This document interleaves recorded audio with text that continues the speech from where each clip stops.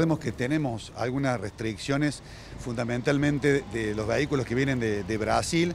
Eh, el gobierno les está dando eh, poca disponibilidad de dólares para traer esos autos y hay fundamentalmente escasez, no es que no existan los autos cero kilómetros en, esos segmentos, pero hay alguna escasez. Y eso hace que en esos modelos, no en todos los modelos, los precios por supuesto se revaloricen eh, un poco y estén a la altura de lo que es la lista de precios de un, de un cero kilómetro. El mercado de usados y cero kilómetro experimenta casi un empate en los precios de vehículos que no tienen disponibilidad inmediata, aunque es un fenómeno transitorio y puntual y el, auto cero kilómetros no está disponible, por ahí el precio de referencia no es el precio de referencia actual, sino va a ser el precio que esté en el momento que esté la, unidad. Entonces, bueno, hay que ser eh, eh, bien preciso eh, cuando uno compra un vehículo usado, que no hay una referencia de precio en el, cero kilómetro, por ahí eh, eh, parece que está un, poco más caro, pero la realidad es que no es así.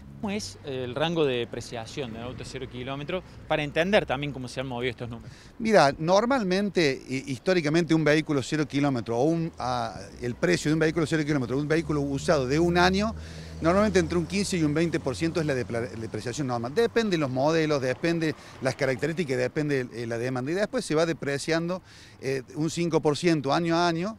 Eh, y hasta un momento que llega un, un, valor que es en base al Estado, en base a, la demanda que tenga el vehículo.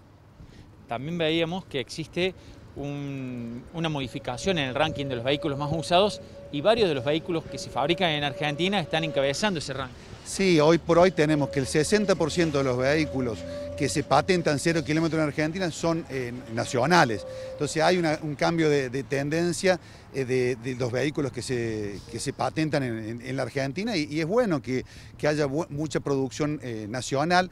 Lo que pasa es que bueno, este negocio es regional, hay muchos vehículos que vienen de, Brasil y otros se fabrican en, Argentina. Lo bueno es que, tenemos un auto local como el Cronos, que es líder en ventas y que se fabrica acá en Córdoba.